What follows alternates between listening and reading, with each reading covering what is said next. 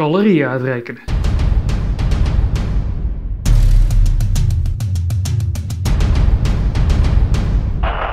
Om spieren op te kunnen bouwen moet je de juiste hoeveelheid calorieën consumeren. Als jouw lichaam niet genoeg calorieën binnenkrijgt, zal jouw lichaam nooit in een anabolische staat komen. Na het trainen is het belangrijk dat je lichaam zo snel mogelijk in een anabolische staat terechtkomt. En dit doe je door voldoende te rusten, maar ook voldoende te eten. De anabolische staat is een fase waarin jouw lichaam verkeert nadat je je spieren hebt afgebroken. Maar hoe reken je nou eigenlijk je dagelijkse energiebehoefte uit? Allereerst moeten we een activiteitsniveau bepalen. Je kunt kiezen tussen de nummers 14, 15, 16 en 17. Zit je bijvoorbeeld op kantoor alleen maar koffie te lurken en ben je niet zo'n actieve sporter, dan is jouw niveau nummer 14. Of heb je fysiek zwaar werk en ben je zeer actief in de sportschool, dan is jouw activiteitsniveau 17. Neem even de tijd om te bedenken welke activiteitsniveau het beste bij jou past.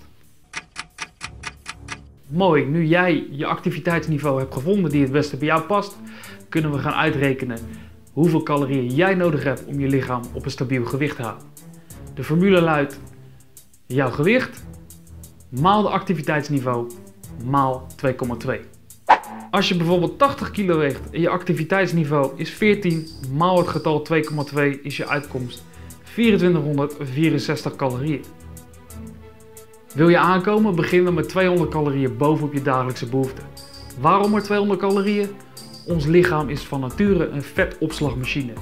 We willen spieren aankomen en zo weinig mogelijk vet. Als je wil afvallen, begin je met 100 calorieën onder je energiebehoefte.